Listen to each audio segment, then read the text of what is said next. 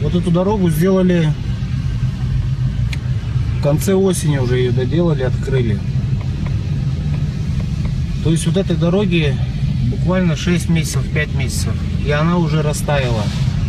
Вместе со снегом она растаяла. То есть здесь уже тихий ужас начинается. Бул видео ушул жылдын февраль айында социалдык тармактарда жарыяланып анда бишкек шаарынын тургуну жаңы оңдолгон көчөлөрдү кыдырып көрүп пайдаланууга берилген жолдор кыштан чыкпай бузула баштаганын айтып нааразы болгон алсак ордо калаадагы күрөңкеев көчөсүндө оңдоо иштери былтыр жазында башталып күз айларынын аягында бүткөрүлгөн бирок жарым жылга жетпей асфальт бузулуп жолдо чуңкурлар пайда болуп күрөңкеев көчөсүнөн өтүү кыйын болуп калган мына жасаганына жакында эле жасаган мына көрүп атасызбы күздө эле мына бүт анан андан бери яма башталды сразу эле булар деген трамвай деткен жок уруп таштаган да буларды уят деген жок такы анан бери эле атат көрүп атасыз го азыр күн жааган сайын түшүп атат түшүп атат эми кайра снимать этип үстүнөн эптеп жаап атышат эми июнь айында башталды го декабрда неметип последний не обработкасын жасады да.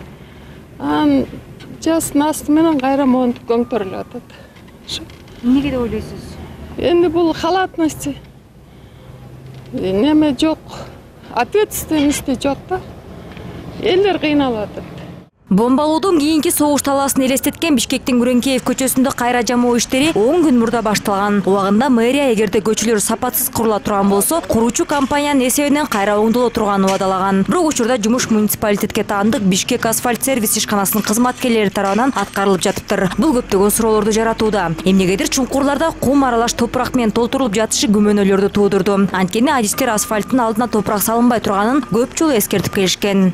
Үстүнө суу себилип каток менен травмовка кылынат да а мурда травмовка кылынган эмес деп айтып атышат да травмовка кылынган мурдагысы травмовка кылынган экен бат эле эмияк ой кайме болуп кетти да жол бузулуп калды кар жапканда эле эме кылган экен да үстүнөн басып койгон экен астында суу калат анан жазында көтөрө берген мына асфальтты ким жасаган аны мурда башка частниктер дейт бул маселе боюнча бишкек асфальт сервис ишканасынын жетекчиси менен байланышуу аракетибизде майнап чыккан жок. Жолду кайрадан оңдоого канча акча кеткенин жана ал ким тарабынан каржылана турганын билүүгө мүмкүн болбоду. Буга чейин эсептөө палатасынын төрагасы улукбек марипов коррупцияга каршы күрөшүү боюнча координациялык кеңеш менин жыйынында жолдордун жыртык тешигин жамоо иштерин токтотууну сунуштаган. Себеби жол оңдоонун бул түрү ири суммадагы каражатты кымырып алуунун абдан ыңгайлуу жана оңой ыкмасы экен.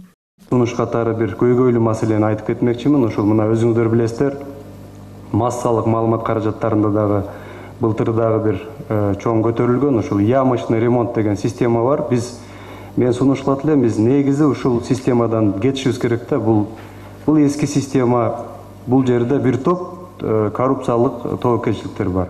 Буга чейин жогорку кеңеш жолдун сапатын жакшыртуу үчүн анын кепилдик мөөнөтүн эки жылдан беш жылга көтөрүүнү сунуштап мыйзам долбоору көпчүлүк тарабынан колдоо тапкан. Президент сооронбай жээнбеков былтыр ноябрь айында аталган документке кол коюп ал күчүнө кирген. Мыйзамга ылайык жаңы курулган трасса беш жыл ичинде бузулса ошол ишти аткарган курулуш компаниясы өз эсебинен оңдоого милдеттендирилет. Депутаттар бул багытта дагы бир мыйзам долбоорун сунуштаганы турушат. Ага ылайык сапатсыз жол курган жана буга жол бергендер кылмыш жоопкерчилигине да тартылышы мүмкүн экен.